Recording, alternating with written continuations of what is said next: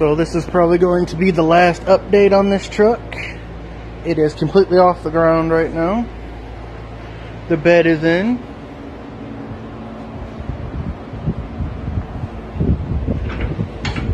Uh, here is the filler for the gas, door panels, speakers, steering setup, the classic, that's a retro sound stereo.